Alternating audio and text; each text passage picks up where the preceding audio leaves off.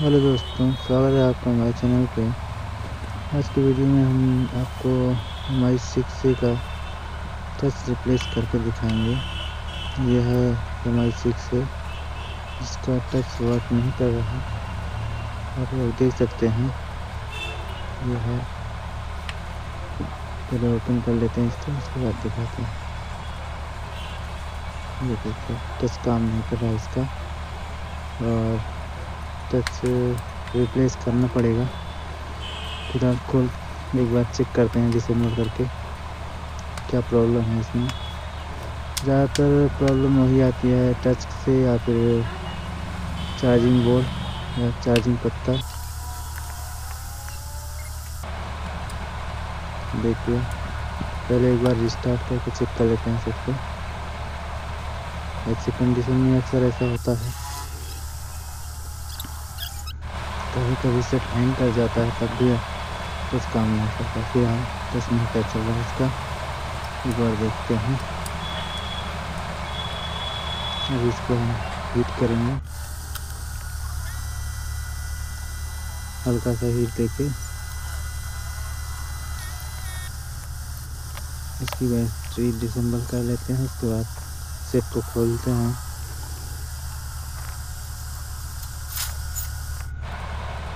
फ़िलहाल ये टच है, इसको लगा के चेक करते हैं एक बार चेक कर लेना ज़रूरी है। आप नया टच लाएँ तो उसको एक बार लगा के चेक ज़रूर कर लीजिए। क्योंकि कभी कभी होता है टच चलता नहीं है तो उसकी पन्नी निकाल देंगे तो वो ख़राब वेस्ट हो जाता है। देखिए, अभी लगा के चेक करते हैं।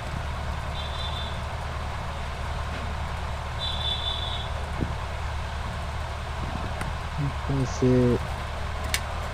हमें तो दिक्कत टच से लग रही है। अभी लगा के फिर कंफर्म कर लेते हैं। जिससे हमारा ऑन हो गया है।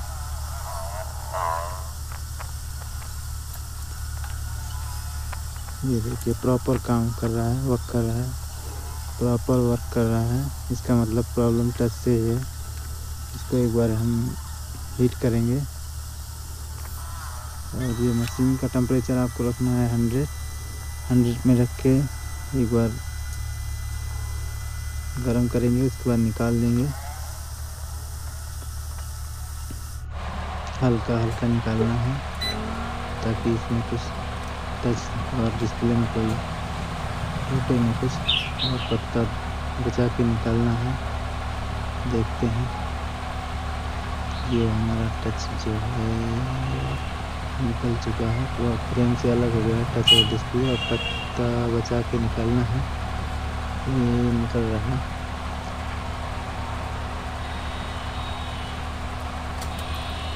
फ़िलहाल गैस निकल चुका है। फ्रेम से अलग कर लिए हैं फोल्डर को। और इसका टच अलग करेंगे डिस्प्ले से। उसके बाद देखते हैं। ये है कटिंग वायर आपको मार्केट में मिल जाएगा। ये फोर पॉइंट ज़ीरो है। अच्छा चलता है वैसे। चाइना भी है, लेकिन चलता अच्छा है।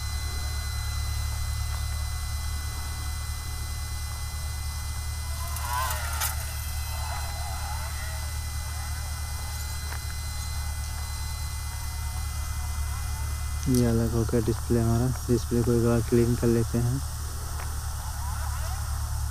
जैसे अगर ओरिजिनल है तो आपका ये निकालने में थोड़ा दिक्कत होती है और ये अभी तो इसका लगता है टच एक बार चेंज हुआ है शायद।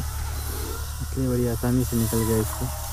ग्लू ग्लू साफ़ हो रहा है। एक बार डिस्प्ले लगा के चेक कर लेते हैं।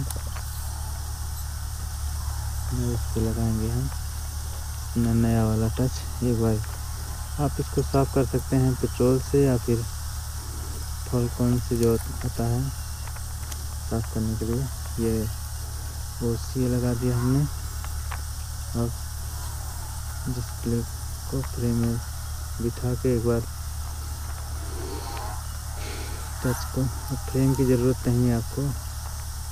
सिर्फ़ फ्रेम में डिस्प्ले लगाएँगे और उसके बाद एकदम सावधानी से उठा देंगे उसके बाद हल्का सा निकाल के बहुत ही सावधानी के साथ। फ्रेम से अलग कर लेंगे डिस्प्ले को उसके बाद देखो कितना आसानी से इसमें क्लिप बैठ जाता है सिर्फ़ आपको नाखून से और उंगली से दबाते जाना दबाते जाना है ध्यान रखना है किनारे ना दबाएँ बीच से दबाते दबाते दबाते दबाते एक कोने तक लेके जाएँगे उसके बाद आराम से बहुत आराम से बैठ जाता है हल्का फुल्का बबल रह जाता है तो वो जो है हमारा बबल रिमूवर वो क्लीन कर देता है और देखिए बहुत ही आसानी से बैठ जाता है। आप लोग देख सकते हैं। ये देखिए अभी आप लोगों को लगा के दिखाएँ एक बार निकाल के दिखाएँगे रिमूवर से एकदम क्लीन चलते हैं।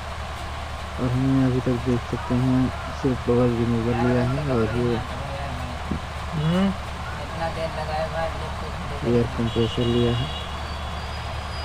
पंचिंग मशीन आ गई हम पंचिंग जितना जितना टच लगाते हैं टच ग्लास जो भी हो पंचिंग सिर्फ़ हाथ सब हाथ से ही करते हैं, चाहे छः इंच हो, चाहे पाँच इंच हो, चाहे जो भी हो। सारे ग्लास की पंचिंग हाथ से ही करते हैं। ये है हमारा बबल रिमूवर इसमें हम टेम्परेचर किए हैं पचास और हीटिंग टाइम जो है सात मिनट का। सात मिनट में वैसे आप मतलब सब निकल जाता है। एयर और हम फ्रेम को साफ़ कर लेते हैं, उसके बाद लगा के चेक करेंगे। हमारा टाइम पूरा हो चुका है इसका। वीडियो अगर अच्छा लगे आप लोगों को तो एक बार लाइक कर दीजिए सब्सक्राइब कीजिए, ताकि आपको ऐसे अच्छे अच्छे नए नए वीडियो लाकर रहूँगा मैं। और चैनल को सब्सक्राइब कीजिए और बेल आइकन को दबाइए। देखिए, एकदम क्लीन एकदम क्लीन कहीं भी ज़रा सा भी बबल नहीं। वीडियो अच्छा लगा हो तो लाइक कीजिए शेयर कीजिए सब्सक्राइब कीजिए। और हम इसको बैठाएँगे। उसके बाद देखिए ब्लू लगाएँगे। इसके बाद बस चालू हो गया सेट ये है भैया टी सात सौ सात हज़ार। मार्केट में इजीली अवेलेबल हो जाता है और का वर्क भी अच्छा करता है। देखिए।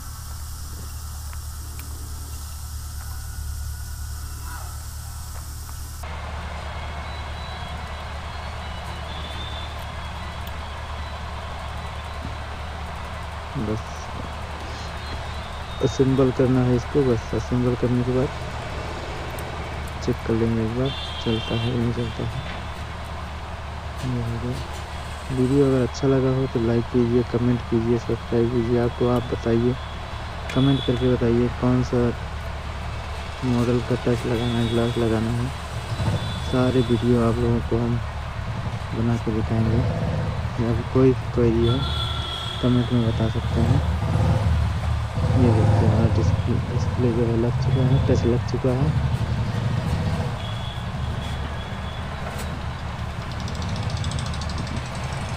ऐसे नए नए वीडियो के लिए आप हमारे चैनल को सब्सक्राइब कर सकते हैं और कोई भी क्वेरी हो, जानकारी हो, आप कमेंट में बताइए। सारे सवालों का जवाब आप लोगों को मिलेगा। ये देखिए, हमारा तैयार हो गया। टच भी काम काम कर रहा है बराबर। और हाँ चैनल पे नए हो तो सब्सक्राइब ज़रूर करिएगा। लाइक कीजिएगा। इससे हमको थोड़ा हौसला मिलता है। Thank you